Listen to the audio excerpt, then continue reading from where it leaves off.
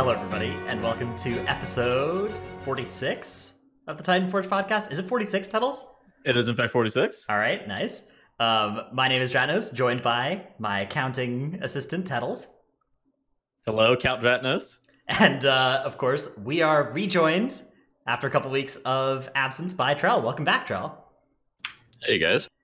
Glad to have you back. Uh, it's been a it's been a, a few weeks though, so you were a little busy with MDI stuff, um, but now you're not busy with MDI stuff for a while now. That's correct. So that's good news for us, in that you'll be on the show hopefully a lot going forward. yeah, not yeah, busy practicing stuff. Um, so that should be that should be nice. We've gotten some good suggestions for new names for the show if we do decide to get rid of the Titan Forge name. So shout out to everybody who sent in some good ones there. Some more favorites. Um, let's see. My favorite one that we've gotten so far is Feet of Strength. There are a couple other good ones on this list though. Do you guys have any favorites uh, that got sent in? I like the weekly no lever. That one's really funny, but I, I don't. Okay, so basically, our reason, our rationale for changing it was that we didn't feel like Titan Forge would embody what is current WoW. Weekly no lever, also kind of not not not direct. I don't know if it's direct enough, right? I think that's Yeah, if we were changing, it would be for like you know search engine reasons, right? is because we, we'd want people searching for WoW podcasts to find it, right? And Weekly No Lever maybe um also doesn't accomplish that, but it's a really good name. It's really funny. Titan Forge, a WoW podcast. yeah, Hmm. there's weekly a. no lever is really funny. it's though. really funny. It might be just funny enough to be worth it. I don't know. It, it, it may be funny enough to where we just take it. um, so yeah, that, that's uh, there's definitely some good options there. Um, if we do make that change, it'll be somewhere down the line, though. For now, for now, we're sticking with Titan Forge. Uh, it's just you know, Titan Forging has been confirmed to be going away, so that's that's sad news for our our, our title, our podcast title.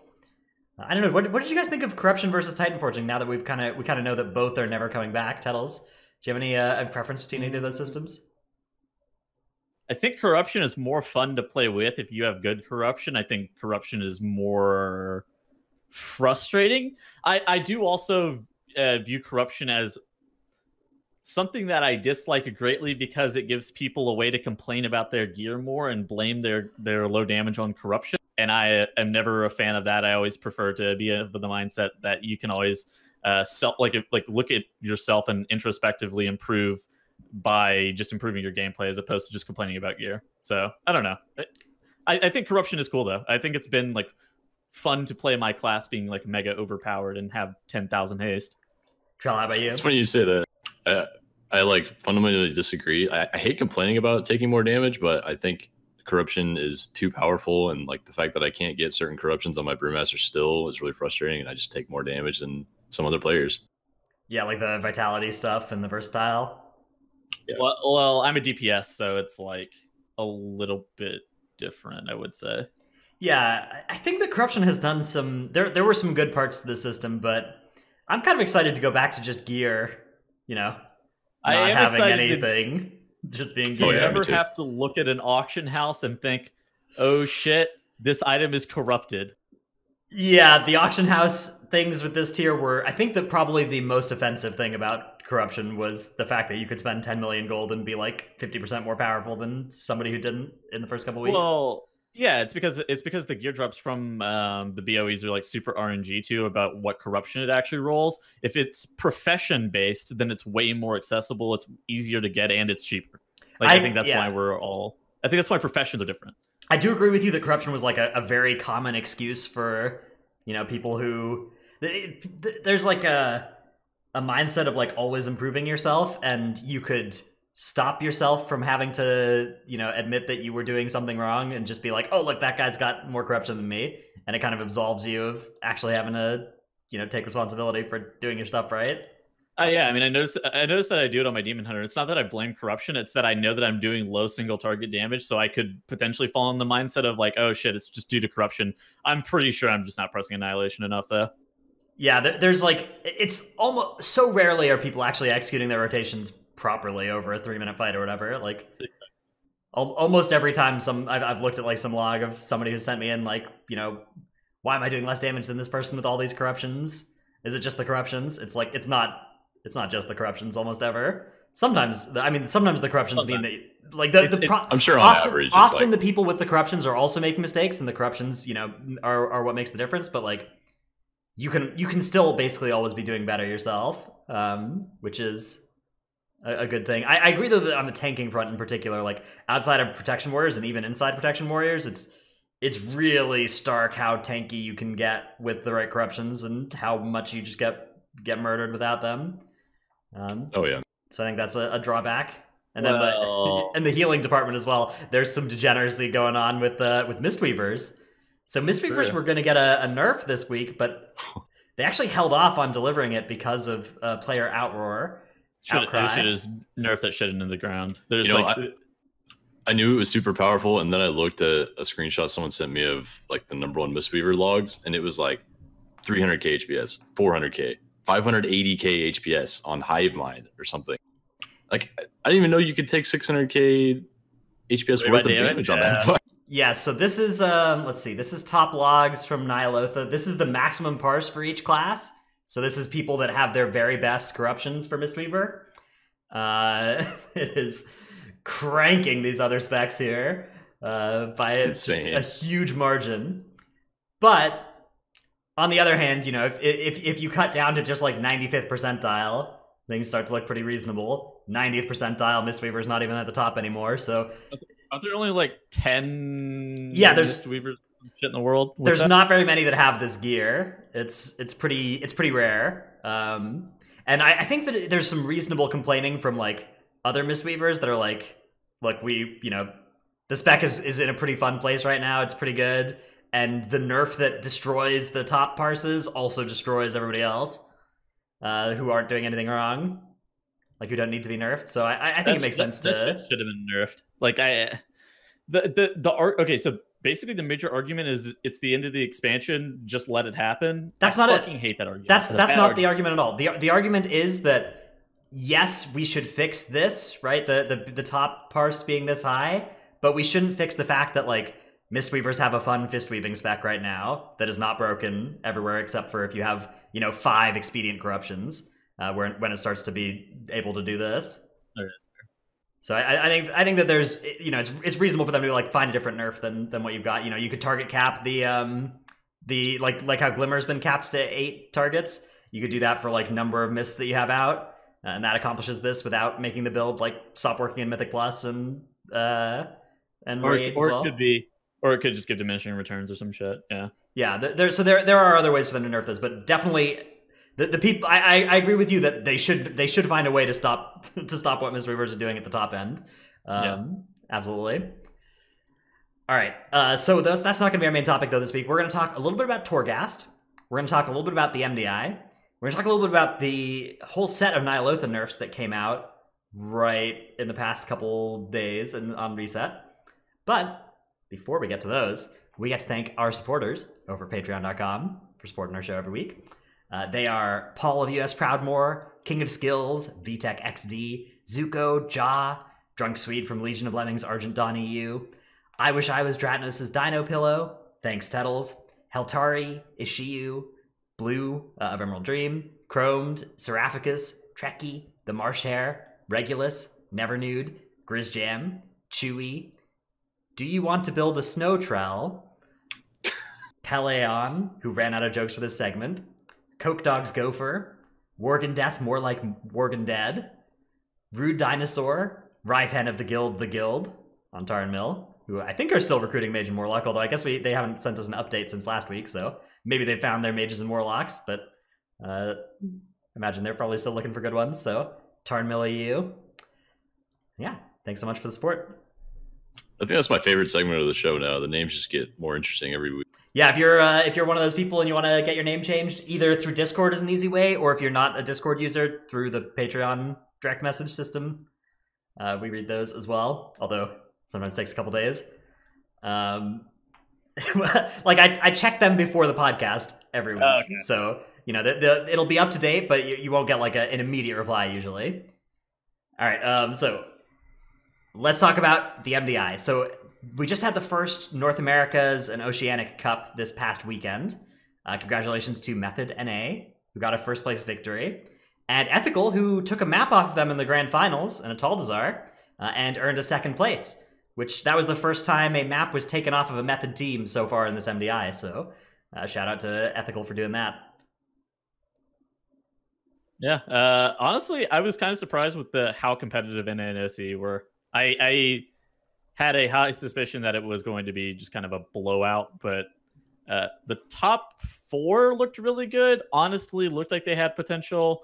Uh, the rest of the teams, I think there was a lot to. I think that it'll just end up taking time for the rest of the teams to be able to be a little bit more well-rounded. I think Big Dumb Gaming could have been pretty good.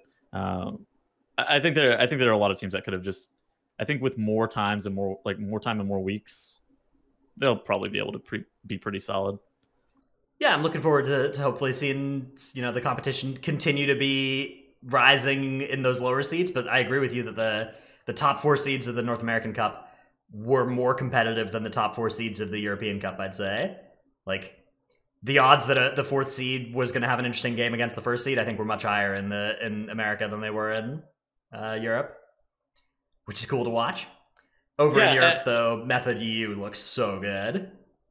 I think the I think the biggest deal was like uh like out of the top four teams, Goosey Bad and Complexity Limit didn't look like mega consistent. Ethical seemed like they were like pretty consistent for the most part, but like Goosey Bad and Complexity Limit, they looked like they had six strategies that could match time wise versus uh, Method NA and even Ethical, but like just their consistency seemed a little bit lacking overall. Yeah, complexity limit though, they they are like so new to this where it, it seems like they still haven't hit diminishing returns on their practice time in the same way that, you know, other mm-hmm. teams might have.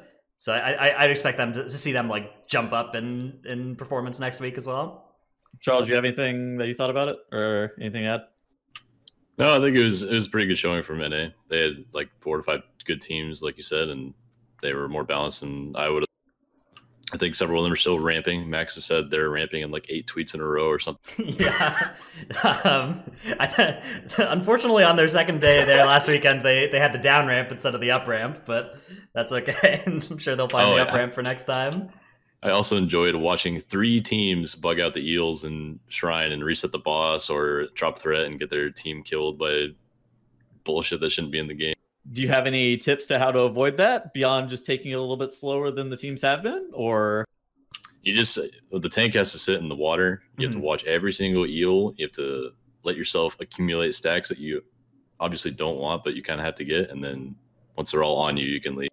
Yeah. you gotta really watch the pathing of like every single eel to make sure they don't go through the ground and get stuck. There's a few of those eels that are like uh the problem eels and they they have these like little patrols before you pull them and you can kind of tell if they're going to be in that terrain and when you pull them and then you have to just make sure that, that you're not pulling them through the terrain you're pulling them out of the terrain. Yeah. Uh, did you guys see that clip of the uh per- the perplexed one where swag is like sitting in front of the eel and the eel just gets dragged into like the yeah. depths of the underworld? That one yeah. that that one in particular did not look like there that was one where the team was actually like playing around the eels properly and it just still yeeted through the floor. That one I just yeah, want to have hyper aware for. Yeah. That's why I have a problem with it because even though it's a bug and you can kind of play around it, sometimes it just like it'll bug anyway. Even if you're a really good player, Divine Field and the Shines team are all super experienced players and they still had it happen to them. Here, right. I, I just grabbed it right now. I'm gonna link it in chat. Uh, you can pull it up, right, Nice. Okay. Yeah, this is the uh, the. It's the bananas. Oh, it's so bad. Okay, yeah, I guess I can go full screen on this. Uh, whoop. Yeah, you can see just uh, that eel just dropping through the floor there. Literally, whenever I said banished into the underworld, it just. it's, it's like, okay, bro. You know, the funny thing is, I, I, just don't think they've been aware of this. And I don't know if they'll, they st- they'll still not fix it now, but there was a different boss room entirely for the Crucible of Storm. Like the outside edges of that room are flat and all they'd have to do is just substitute that terrain for the bugged craggy terrain that's there now and it probably would fix all the issues. Well okay. I i, I think that like actually substituting terrain would be of a problem. I think if they made like an invisible wall there i think it might just, been, just make the eel snap instead of evade. Bang. Sure. You know i think i think i accept that. Never mind you're right. The snap yeah. instead of there's, evade there's a couple ways they could fix it. I just don't think they're aware of it All right, another thing that we have seen showing up in this MDI has been a massive amount of hunters. We haven't seen all of it yet, though, on the broadcast. Allow me to show you the King's Rest time trials for the cup that's coming up this weekend.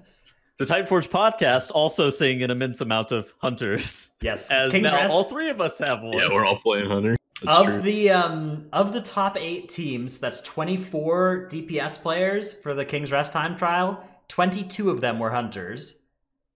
There was one rogue Very and one demon hunter in these top eight But- runs. But why isn't to the there a rogue and the mage? Demon Hunter. Yeah, uh, it's completely wild. Um, this is so it's you won't see this always in King's Rest, but tyrannical bolstering King's Rest. That's a perfect hunter environment in this dungeon. Well, Kara is also like one of the best dungeons for Hunter by a significant amount, right, Trell? Yeah, Yeah, I think so. And workshop. Yeah. Workshop King's Rest, the, you know, single targety dungeons, good for hunter, but uh, tyrannical bolstering in particular makes it really good for hunter. Uh, we don't see th- it's not like this for the other dungeons though. It's, you know, D- DKs in Underrot and uh, and Enshrine DKs, hunters, DHs. So there's there's some mix in the other dungeons, but in King's Rest it is hunters all the way down. So yeah, that's uh that's gonna be an interesting thing. It's it's kind of like dungeons can either be like really DK heavy, really hunter heavy, or they can be kind of a mix. Uh, Oh yeah, the really DK heavy ones involve a Demon Hunter as well. often a demon hunter, yeah. How do you feel about like the no rogue keys? I, I think we've seen a lot of no rogue uh this MDI. I'm actually kind of a fan. Yeah, rogue is just it's pretty low damage. Yeah, Arrow- honestly. Arrow literally DM'd me after they lost the upper final to Method NA. He's like, dude, Rogue sucks. He's like, "Ah, Rogue is just so fucking bad right now. It, it's he's like, it's the worst version of Hunter. It just sucks. Yeah, it's like you don't need Shroud. Like Shroud is not saving you any serious amount of time in any dungeons, um, and their damage just does not has uh, not scaled very well, and that you know the nerfs have really come and started to hurt. So yeah, I, I agree. I I'm, thi- I'm okay. I'm okay with the spot that Rogue is in personally. I think it's like fine. yeah, I mean Rogue's still showing up. Like there's, I think there's a Rogue in, I guess, I guess there's only two Rogues in the total top eight of time trial teams or times, but still, like that's more than we're seeing of many classes that don't make it into MDI at all. Big truth right there. True. and we've seen so much of them in previous MDIs. I'm I'm fine. I'm fine with Rogue. Like I don't think Rogue needs is something they need to look at right now uh, to Yeah, buff anything. The the MDI consensus is that Rogue is definitely not the best damage, and if you can get away without it, that's definitely the play. I think it's just uh, based on my limited experience this season and many others' experience going on.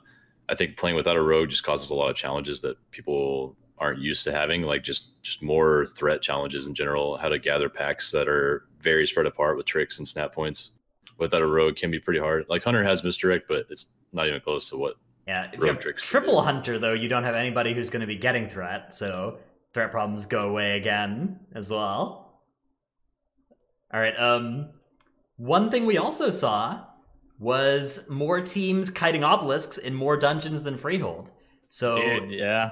in Atal'Dazar, we saw Ethical kiting the uh, awakened enemies against Yazma. This was in their upper finals where they ended up losing to Method NA, but they won this map against Method NA in the grand finals, uh, kiting the obelisks this way. I think that is the. is- Oh, that's not the grand final. That's the upper final. Yeah, yeah, yeah. yeah. I Yeah. couldn't remember which one I linked. Inertia was doing that too, right, Trell? For yeah we your were. Atal'Dazar time trial.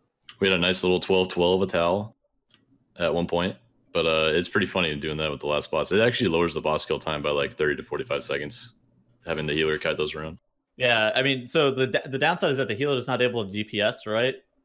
But the Right. upside is the fact that you don't have to put any damage on the obelisks, and you can just blow it up with uh, just blow it up. I was kind of surprised that Method NA didn't kite obelisks personally, especially with their eleven. It was eleven forty five in time trials. I was like, Yeah, you were fact that they did 95% that sure that they had been kiting obelisks in that run because of I how mean, fast dude, their time it- was.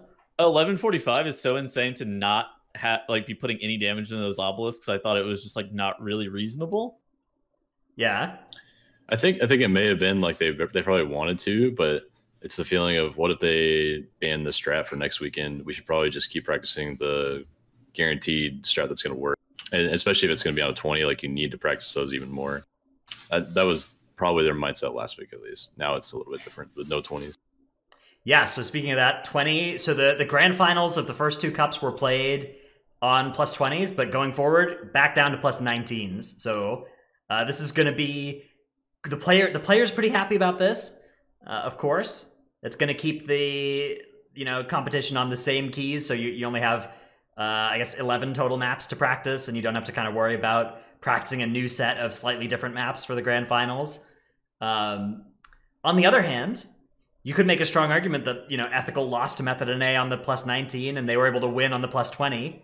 Uh, in you know that that that win may have been due to being a plus 20 even the the fact that like Method NA had problems that they wouldn't have had on a plus 19 probably. Probably yeah. I think that's bad though. It's just like it just creates more of a like more things that could go wrong and possibly favor the team with less practice. You know, I don't know. I don't know what to be like. What to think about having twenties in. I think it's always bad to have different key levels in general. Yeah. Well, the most hype of MDIs had like it went 23, 24, 25. I thought oh, it was the 20, 22, 24. Was that? No, it's- no, no, no. That well, that was time trials, Ah, okay. and then and then the the cup play was 22, 23, 24, and then the grand final, like the the global finals, which saw like the most viewership of any MDI so far, went 24, 25, 26. Huh.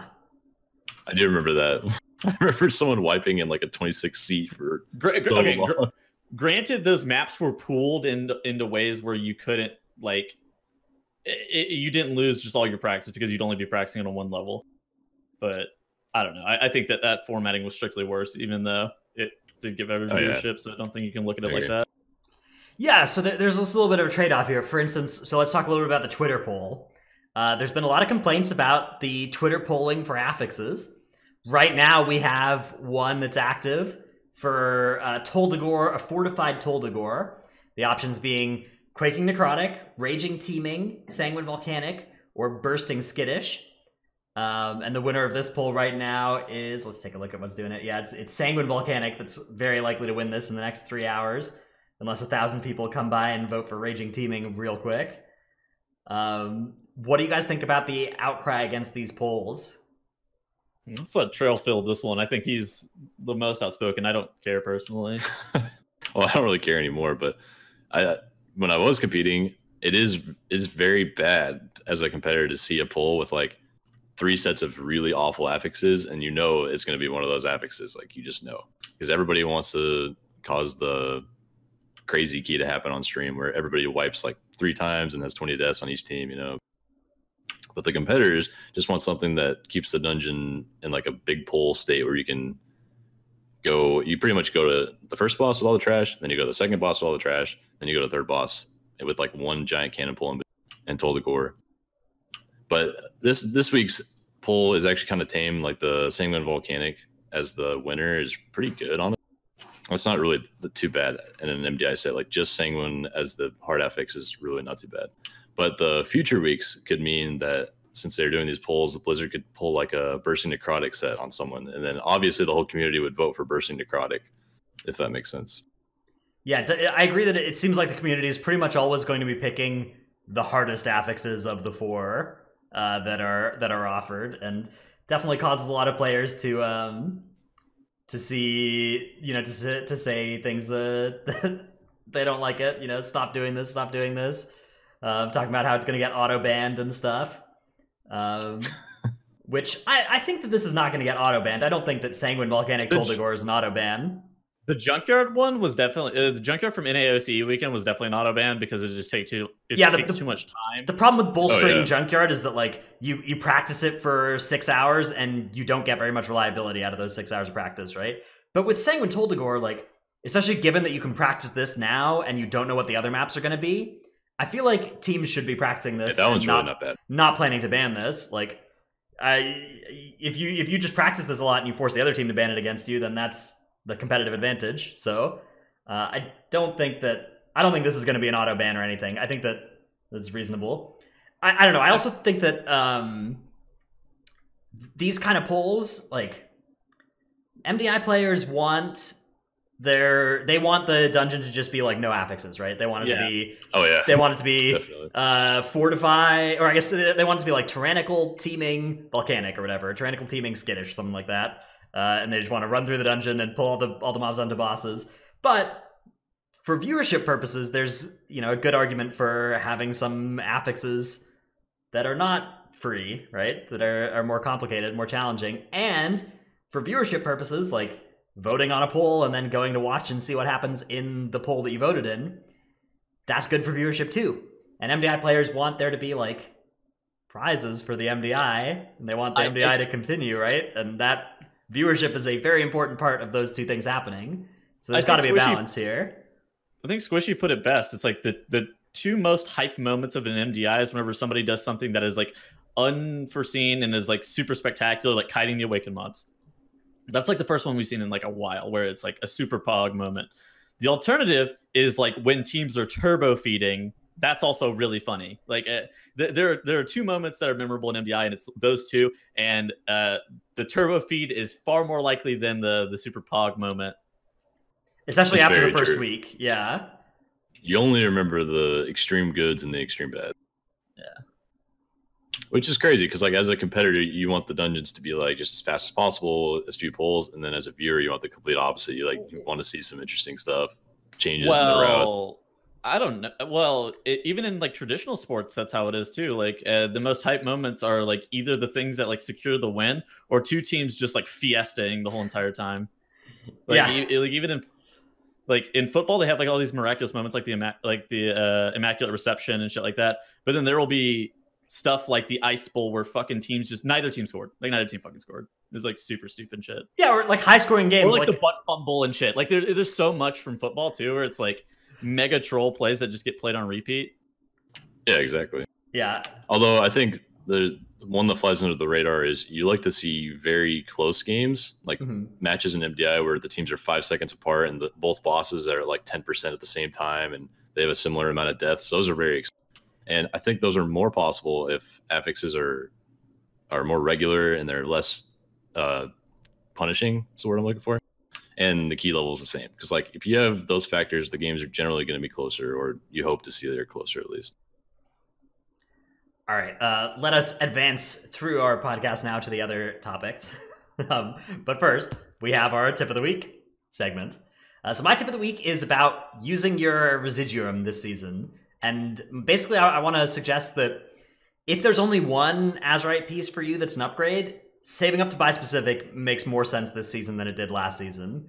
Um, the price is the same between for buying specific and for buying random, but there's an extra piece in the pool now, so the odds of getting that one good piece have fallen from buying random Azerite uh, quite dramatically from from a sixth to a seventh. So So math- mathematically, last season, if there was only one piece that was an upgrade for you, you would have rather saved up. So the fact that there was one more added, if there's only one piece that's an upgrade, yeah, like Dratnos is saying, you should save up. In addition to that, uh, since the season is super long, there's no like desire where you like need the piece now.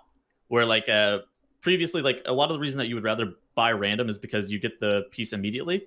Mhm. So it's not like super time gated. So you'd rather just buy it immediately and just hope. But yeah, Yeah. I think I agree with that. it, it depends on your exact circumstances. Like if you have two good pieces and five bad ones, it, it can be a close decision.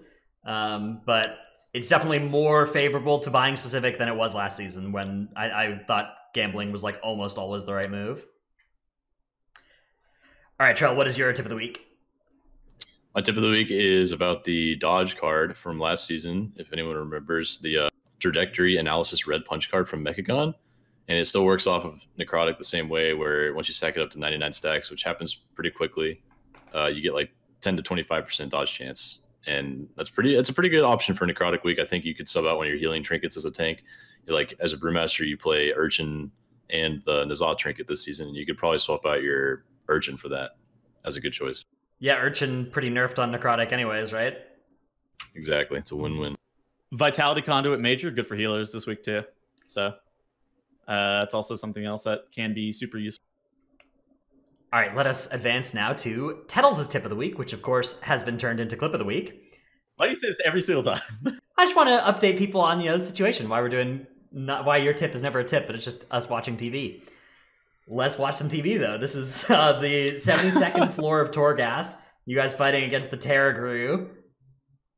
And it gets turned into a chair. Very cool. I was like, where the where did he go? I thought he evaded or like snapped to our tank or something. Yeah, Uh, so you can see Tettle's dying, laughing in the corner. Yep, yep.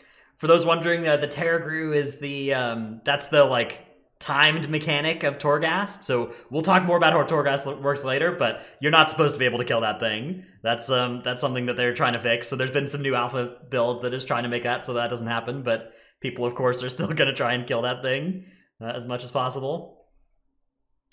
All right. Uh, so before we talk about Torghast, though, we have some Ny'alotha nerfs.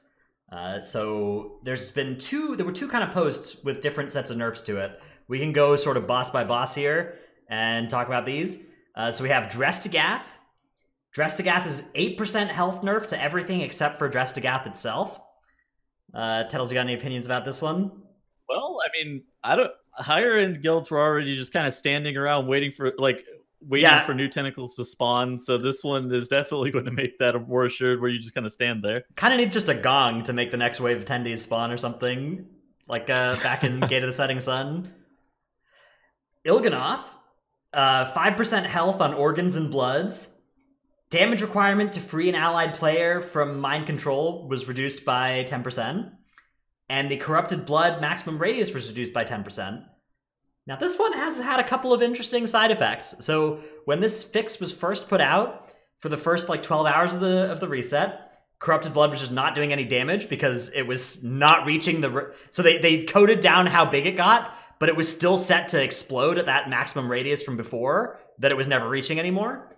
They fixed that, but now what's happening is it's pulsing more often because it's it's growing and shrinking at the same speed, but it's hitting this the maximum size at a shorter time now. So the damage taken actually across the raid from the cursed pulses is now higher in our logs than it was before because the the, the radius being increased by 10% is effectively a 10% increase in how often this damage comes out, uh, which is wild. So that's um that's a fun accidental buff here that they it seems like they did to Il'gynoth. I'm not sure if that's gonna stick around for a long time. Another thing we noticed with this bug or with this fix was that our friends aren't getting healed when we're breaking them out of the mind control anymore. Used to be that they'd get like full healed when we broke them out of the mind control, but Are now they they're just, just, Oh my god. staying at like 30% health. what- yeah. That's an awful fix. that's a terrible fix. I I haven't killed that. Bo- that's the only boss that we have left to farm this week. Uh, that that sucks. Yeah, here, hang on. Let me. I'm I'm gonna go take a look into our logs and see see if I can find for I'm you. gonna watch Kyo do the boss later. But yeah, uh, unfortunately, Il'gynoth has, has it, it seems like the nerfs were sort of accidentally buffs uh, here, so that's um that's pretty cool. I'm gonna yeah. Let me, Might might mess around and accidentally buff the boss. Yeah. All right. Uh, I have some logs here to just confirm this real quick. well, it's to entice you to dispel, right? That's why. Yeah. Well, it doesn't really entice you to dispel. It just means you don't have to spread as much with it. Like this doesn't ha- change the dispel strategy very much at all because the minimum size is still the same. But the time that it takes is like quicker, so you're taking more damage overall, right? Yeah. Uh, Ten percent more, right? okay. So yeah, here's Yeah. Plus, you plus you can't dispel as quickly because people are. I don't know. It's gonna be. It, you're gonna have to have people on different like. so You're here's gonna be more aggressive with your dispelling. here's our kill from yesterday. Cursed pulse damage taken ended up being 107 million damage in a 7 minute and 20 second fight. And here's our kill from last week, 30 seconds longer fight, and we only took 101 million damage from Cursed Pulse. So we took 6 extra million damage over 30 less seconds of fight from Cursed Pulse. Uh, thanks to this nerf to the boss fight. So they um, very much looks like they accidentally buffed the fight here for us, which you do love to see. Uh, okay, we've got some other Ny'alotha changes though. So besides the Il'gynoth ones, which have been a little buggy, we have uh, Raden. Decaying Wound has been nerfed by a quarter in terms of how much damage it's going to do to the tank. So that's pretty nice. That's the last phase That's a good one. thing. That's yeah. a good, That's a good Yeah, one, yeah, yeah. yeah. uh, and then Very they- good for guilds just getting to that boss. That's a really tough part to get through once you get to it a couple times, first couple times. Yeah. Uh, and then they nerfed the health of Essence of Vita, Essence of Void, and Essence of Nightmare by a large amount as well. Which uh, I think also makes a lot of sense. I don't know. Rodan was one of my favorite fights this uh, this patch actually. This this tier. I think there's a lot of good mechanics in it.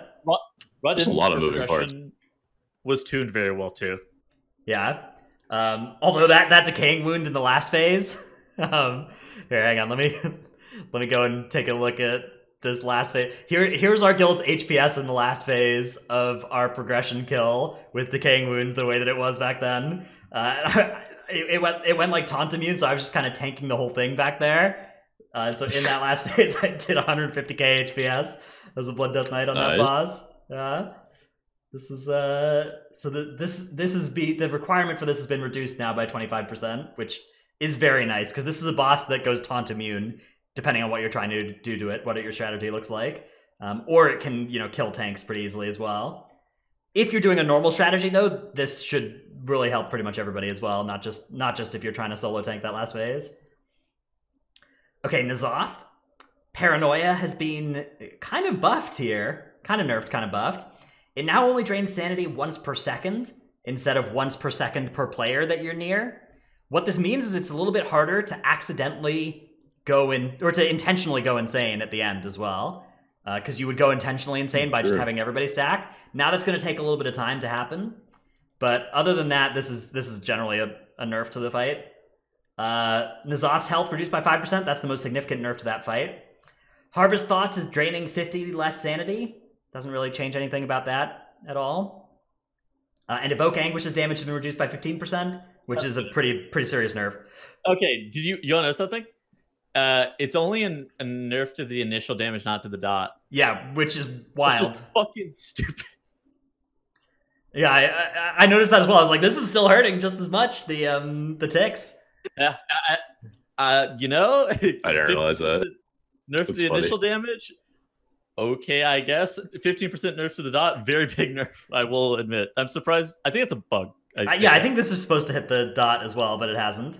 Um, the initial damage is, is like kind of the least important part as well, because like most much of those initial damage hits are covered by you know barrier or or, or link or something from most strategies, uh, whereas the dot itself is when you're spreading out and is what kills people. So yeah, um, kind of a wild set of nerfs here. There's some more though, but wait, there's more. Uh, they fixed the Cujo bug in Mechagon Workshop, so that's good. Xanesh, my dog. 5% health nerf and cast time increase to 5.5 seconds instead of 5 on the interrupts. That's it. That stopped me from wiping our raid last night, so I'm pretty happy about that.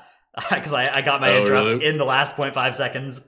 You know, panic realized I had an interrupt and got it. So uh, thank you for this nerf in particular, Blizzard Entertainment. Uh, did really good things for me. Shadhar, they gave you a little bit more time to pick up the food, and they increased the travel time of the Umbral Eruption. Okay. And Hive Mind, 10% health on the darters and 10% damage on the darters, also nerfed. Um, so this is a huge set of nerfs to most bosses in Ny'alotha. Almost all of the ones past those first three have gotten some kind of nerf.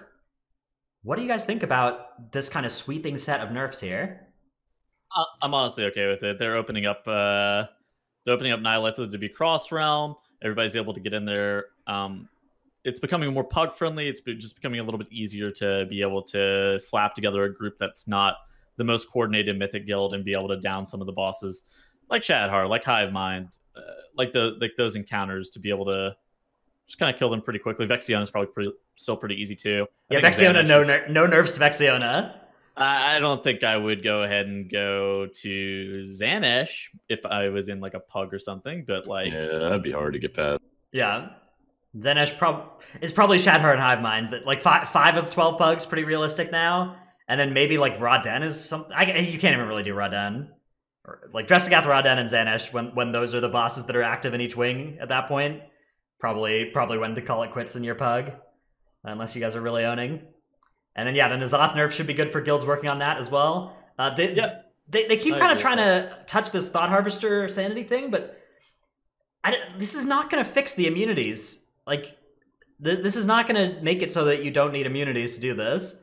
Um, the sanity The is not the way- problem. The only way that they fix the Thought Harvesters is if you get two per set instead of three. They're like two per uh like round. I don't even know what to describe it. Phase, I guess. I mean, you, you just yeah, you, you gotta you gotta do some damage nerfs, like nerf the dot of evoke anguish as well. Maybe nerf some of the overlaps with the harvest thoughts, and then make it so you can't immune it. Just make it not immunable. Um, I feel like that would be the the solution to the thought harvester immunity stacking. we, we got ironic in the chat throwing some some shade at warlocks.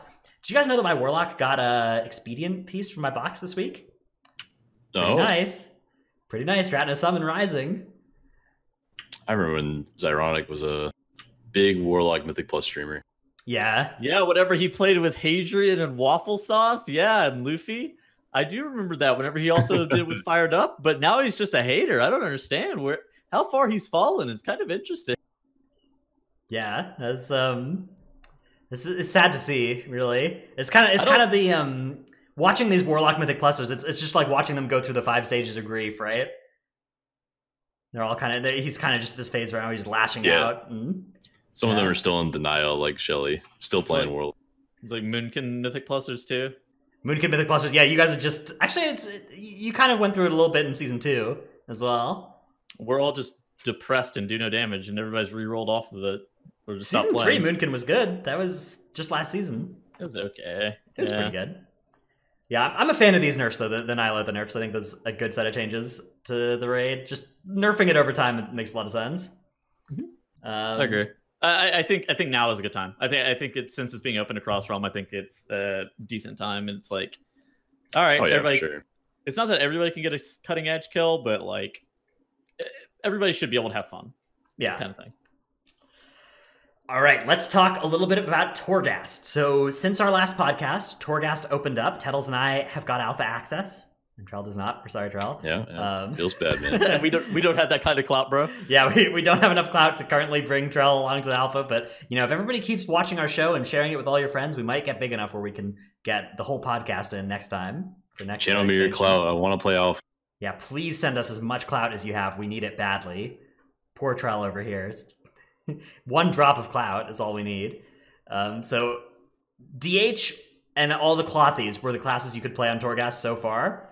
And it's been really fun. It's this roguelike dungeon crawler WoW experience.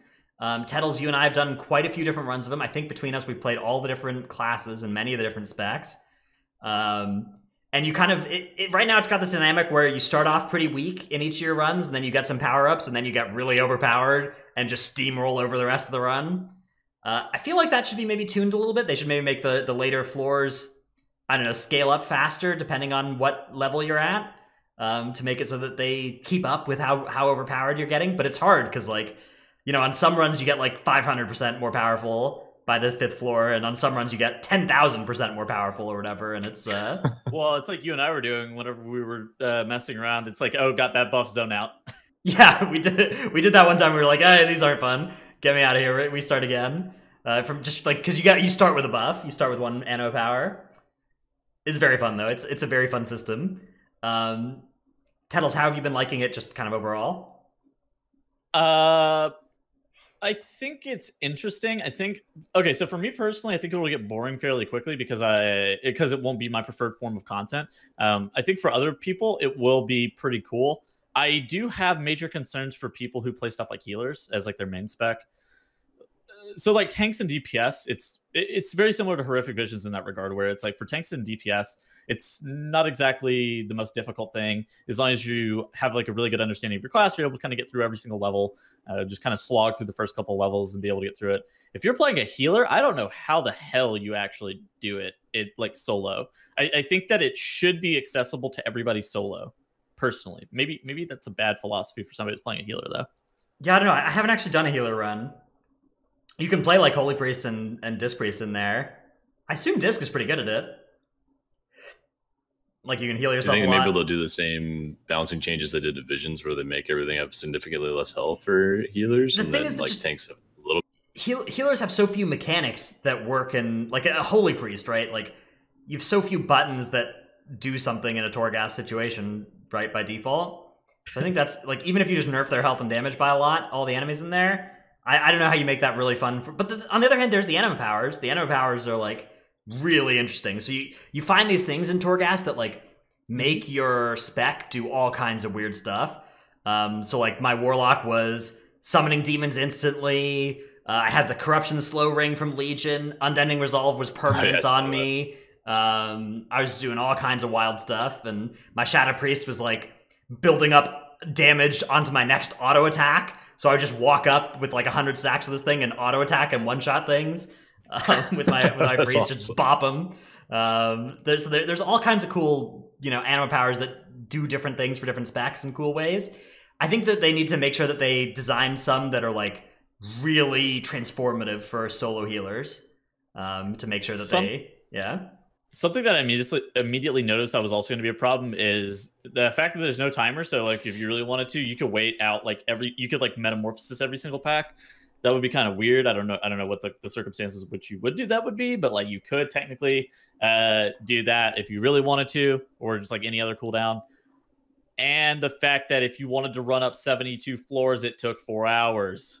Yeah, so the the, the timing, like we we don't know how Torghast is actually going to work on live, like what floors you're going to do in a run for a normal thing. But like you were getting legendary components every six floors, right?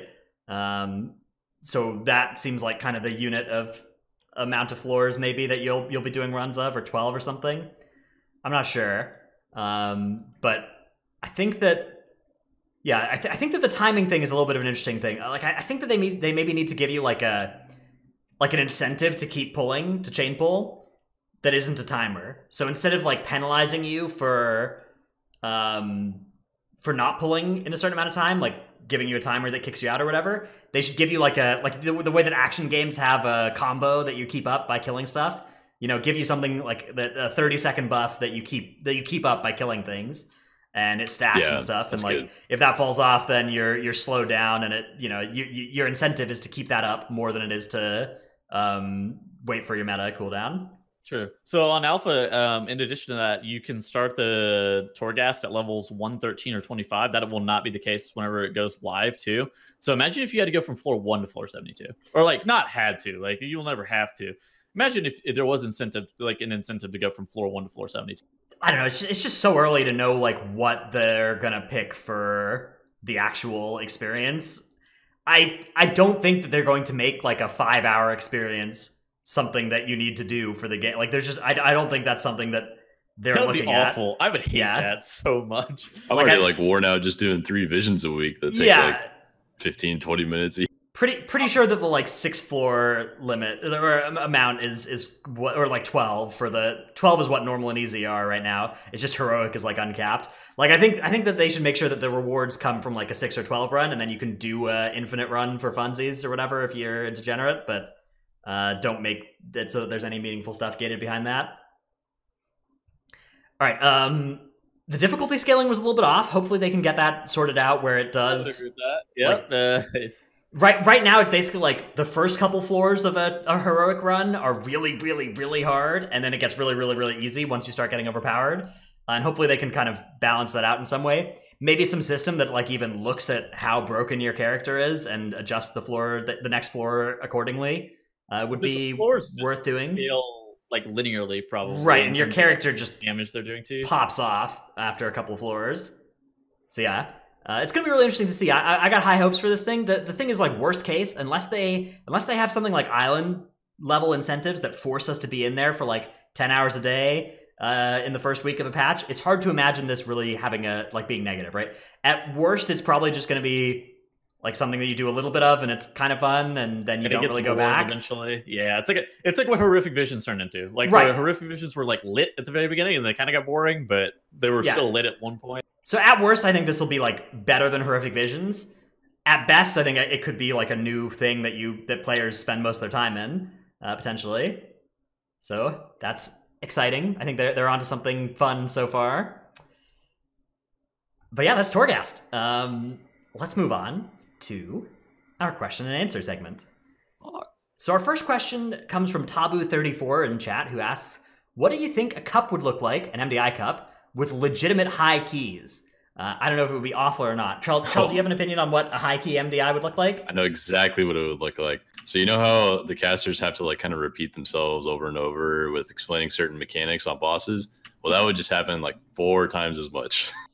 Dude, if you if you hit me with a four minute boss to cast, I'm going to lose my shit. Like that would be so miserable to do. Like uh, so, wa- watching a team like do a high key and hearing their comms, like whenever you're watching somebody stream and they you hear their comms, it's cool.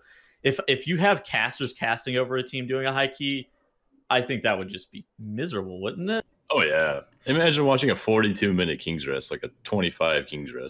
And here comes the eighth spit gold of the fight. Let's see who that's going to go on. It goes on the rogue.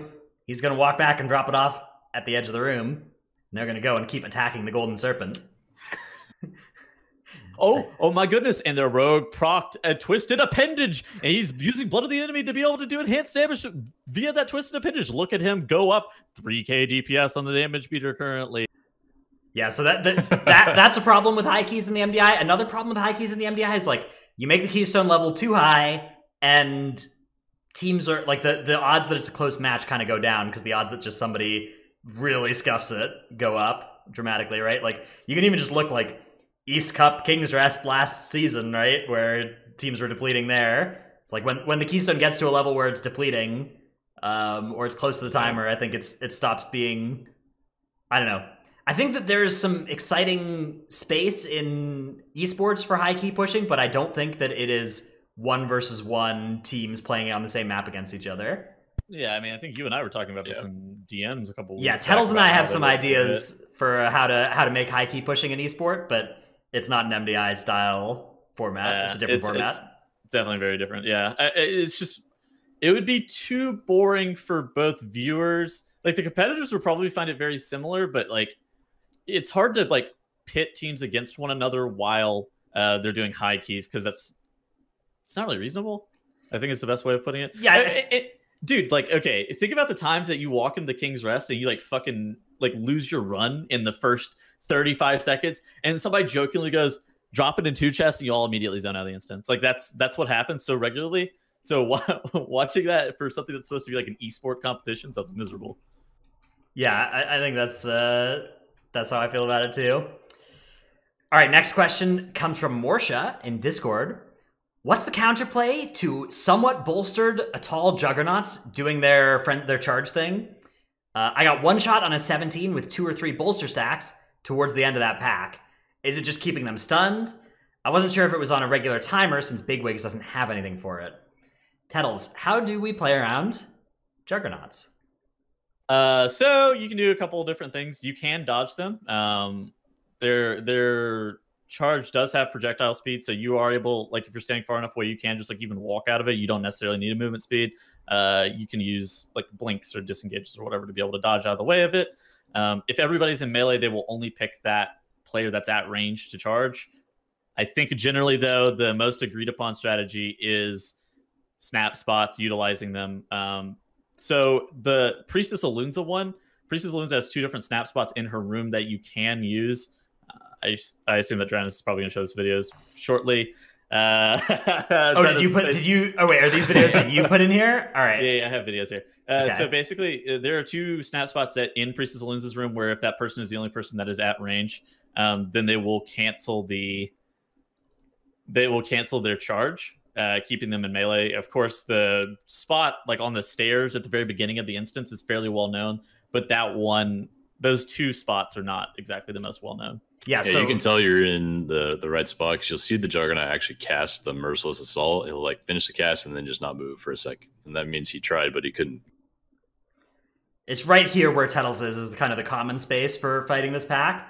Uh, and back here, the jug- yeah, the Juggernauts won't have a path to charge at you, but they'll try.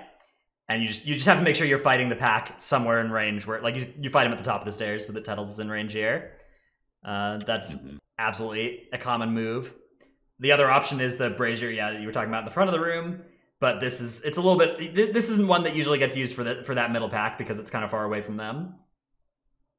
Yeah, good uh, good videos, Tettles. I was I was wondering what those ones were in there. I should have looked. I saw, I saw your face whenever I said that, and I realized that you did in fact did not have them open. I was like, oh no. That's all right. We got him. We got him eventually. Yeah. So that's also oh, probably yeah.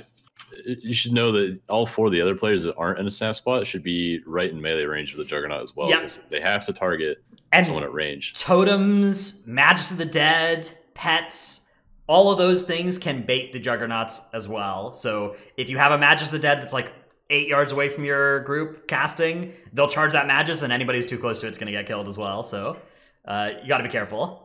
If you're playing a hunter, make sure that you put your hunter pets on like uh, stay here mode, uh, to where like because you need them to stay on the ground to be able to for you to be able to deal damage. So make sure you position them before you hop in the spot as well. Yeah, there a tall like if you're using snap spots on Atal'Dazar, there's a lot of hunter micro involved if you're if you're that BM hunter. Mhm. All right, next question comes from Honey Honey on Discord. I'd love to hear a discussion on how the upper bracket in MDI can be reduced, or even if you think it's a problem. Feels like having to play in the lower bracket to reach the grand finals puts the lower bracket team, who's already the underdog, at an even bigger disadvantage with the extra time the upper bracket finalist has to practice the plus 20 maps. So first off, the plus 20s are gone now, but even before then, uh, the upper bracket team hasn't lost yet in a double elimination tournament, right?